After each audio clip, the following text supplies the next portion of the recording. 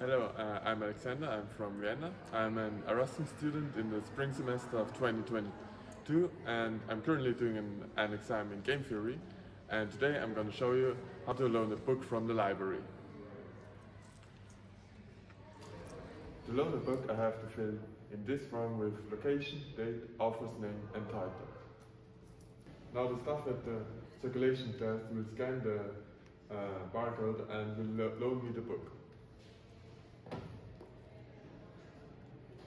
It's very easy to loan a book from the li library. Just don't forget to bring it back when the loan expires. Good study. Now we will go to the library to return the book.